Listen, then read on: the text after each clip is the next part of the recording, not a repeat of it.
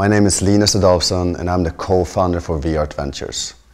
The app that you're about to experience is the first time that an art exhibition has been turned into a mobile app. At any other time in history, once an exhibition ends, it's gone and lost forever. But Shepard Fairey's exhibition Damaged, his largest solo show to date, is now available on your mobile phone. Once you open up the app, you're dropped in the middle of Shepard Fairey's exhibition, and with your finger, you can move around the space and explore each of the artworks. The Defend Dignity painting is a canvas iteration.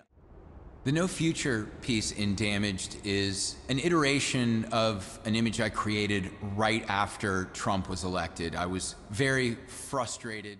The Bleeding Lotus series developed as I was trying to create secondary iconography to work as symbols within the larger canvas pieces. Um, the lotus is something that I've embraced as, as a beautiful flower that grows from the mud.